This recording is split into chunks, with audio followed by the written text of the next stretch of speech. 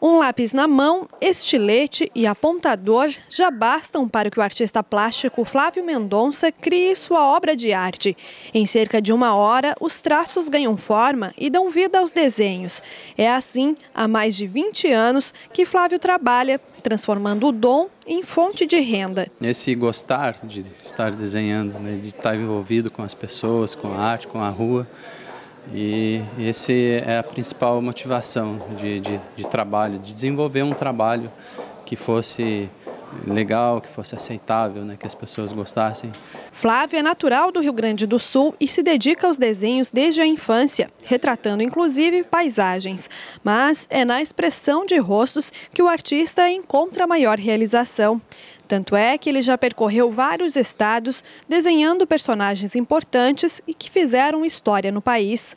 Na Assembleia Legislativa de Santa Catarina, os 40 parlamentares foram homenageados. Essa é a primeira vez que o artista expõe as obras no parlamento. Hoje em dia eu levo como homenagem a, a, a pessoas, autoridades, personalidades de cada cidade onde eu passo. Né? Então, leva-se o trabalho do retrato como uma homenagem a, essas pessoas que trabalham pela cidade também, né, que fazem a cidade.